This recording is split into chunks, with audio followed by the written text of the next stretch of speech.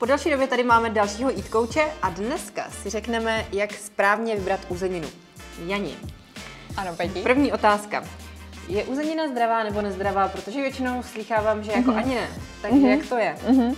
A, tak když bychom vzali uzeniny všeobecně a porovnali bychom to třeba s libovým masem, tak a, ty uzeniny, co jim to kazí, tak je hodně vysoký obsah tuku, mm-hmm. tím pádem zároveň i cholesterolu.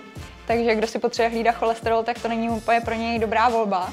A co určitě uzeninám ještě jakoby to kazí, tak je hodně vysoký obsah soli. Mm-hmm. A tam, kdybych to řekla třeba konkrétně, tak ta sůl se může pohybovat u velmi kvalitních šunek od nějakých 1,7%. A při když vezmeme potom dál třeba párky nebo nějaké suché salámy, tak tam už jsme na nějakých 4 až 5%. Mm. A kdybychom se bavili třeba o paštíkách, tak tam už je to klidně nějakých 8 až 10%. A když to tak jakoby porovnám, tak třeba doporučený denní příjem uh, soli je nějakých 5 gramů za den.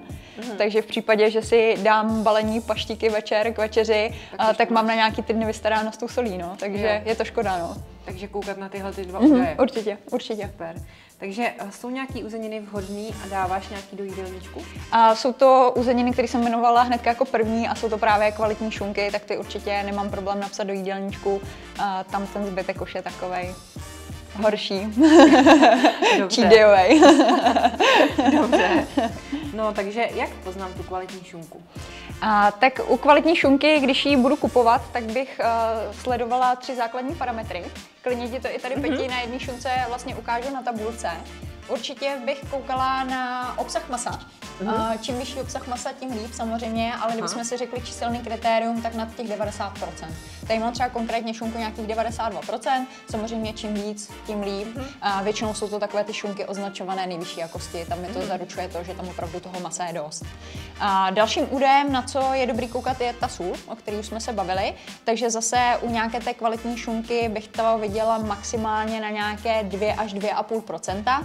A třeba když se podívám tady na tuhle tu šunku konkrétně, tak tam má nějakých 1,9 gramů, takže tam máme 1,9%, takže ta to splňuje úplně nádherně.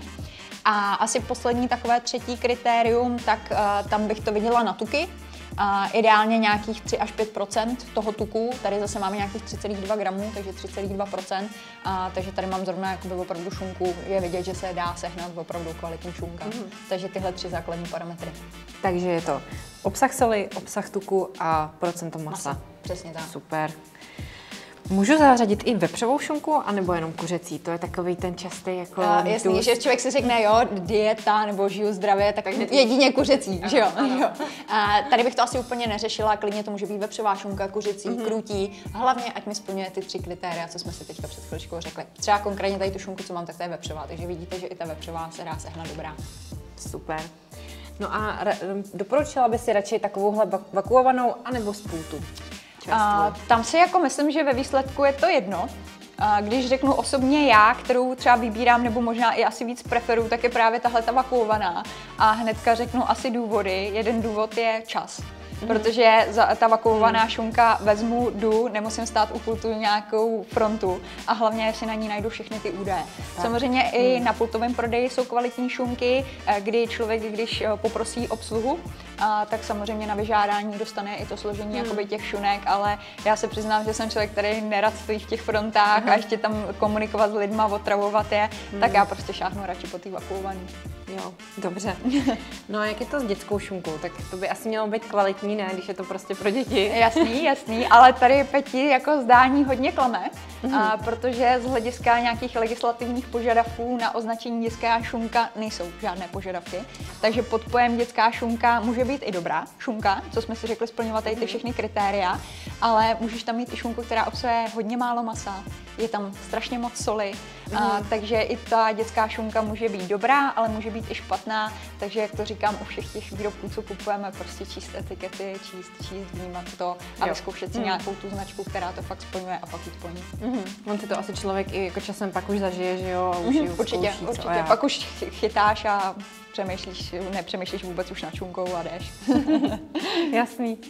No a kdyby mě šunka v jídelníčku omrzela, chtěla bych ji něčím nahradit, tak Mm-hmm. Jako nějakou jinou další uzeninku, jo?